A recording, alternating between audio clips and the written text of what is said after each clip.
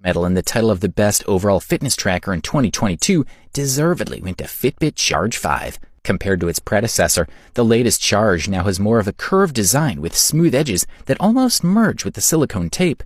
The screen is slightly larger, although it's located inside a glass case with a thick frame. The screen offers bright colors that reminded us of the first Samsung Galaxy Gear strips a few years ago. In addition to reading time, counting steps and burned calories data displayed on the main screen, swiping up can offer additional, more in-depth info. Fitbit Charge 5 is able to bring out a lot of data and features on the band itself. Of course, the main screen shows time, steps, calories burned, and heart rate.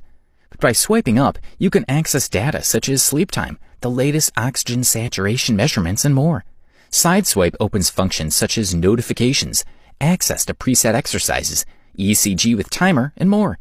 Through the Fitbit app, you'll be able to monitor your sleep cycles at separate times. And there's a lot more to where the data in the app comes from. For example, you can see the division of sleep time with different phases. This information is aligned with the latest version of Fitbit software, which also provides a readiness assessment that tells you how ready you are to face the next day and more exercise. What we really liked about Fitbit Charge 5 is that it records all the vital data you're looking for, from pulse to oxygen in the blood.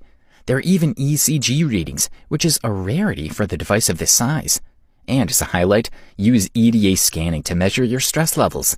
As with the latest Fitbit Sense, this is a comprehensive overview of user data that raises the Charge 5 to a different level than the competition. Despite the vivid display and a range of data sensors buzzing inside, the Charge 5 battery lasts 6 to 7 days on a single charge. In conclusion, Fitbit Charge 5 offers enough insight to take control of your life and make it better step by step. You wanted the best, you got it. Thanks for watching, and that's all for now. I hope to see you guys in the next video. Till next time, see you.